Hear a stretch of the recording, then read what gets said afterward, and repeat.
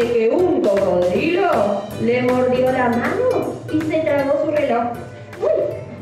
No tenía mano, tenía un gancho.